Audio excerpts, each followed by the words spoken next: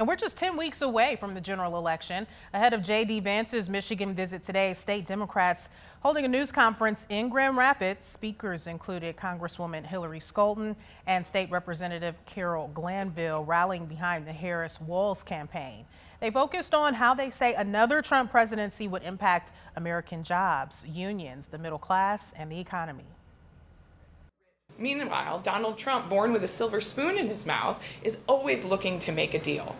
Listen, I don't begrudge any businessman that wants to make a deal and, and make a buck in the private sector. That is uh, American entrepreneurship, go for it. But we're not going to let him sell out America and American workers to the highest bidder. Leaders also talked about the Project 2025 agenda.